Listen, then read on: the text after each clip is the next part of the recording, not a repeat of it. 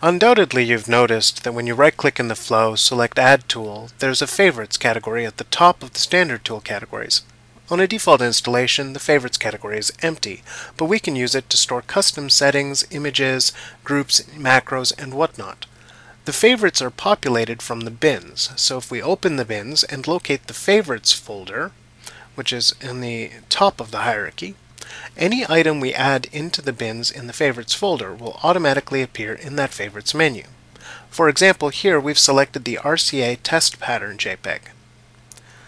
When the bins are closed and we right-click select Add Tool Favorites, you'll see that test pattern. Selecting it automatically generates a loader, adds it to the composition, and points it at that footage.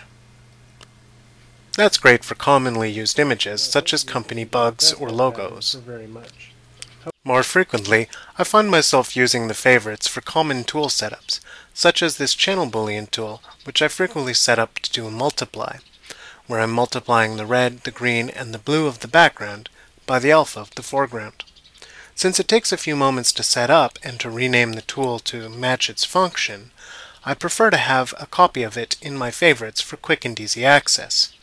So if I open the bins, and then I drag and drop that tool into the bins, that will automatically tell Fusion that I'd like to start saving the settings for that tool or selected group of tools. In this case, it's going to be called Mult-A, and that's been auto-filled in because that's the name of the tool. So that gets added into our favorites bin, and because it was added into the favorites, it will now be accessible from that favorites menu.